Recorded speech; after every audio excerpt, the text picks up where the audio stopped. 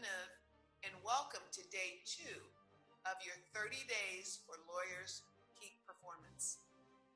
Today, we want to talk about standing up. Too much sitting down is not good for your health. According to Mayo, almost 50% increase in death of any related cause because of sitting too much. They also say that there's a 125% increase in cardiovascular deaths and disease, such as chest pains or heart attacks. If you don't have a stand up desk, every 90 minutes, stand up, stretch, drink some water, walk around for a few minutes, get your blood flowing, get the oxygen going through your brain.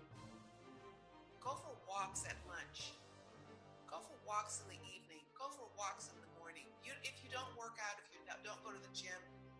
always go for a walk. Your goal is to increase your health, your vitality, and your productivity for your law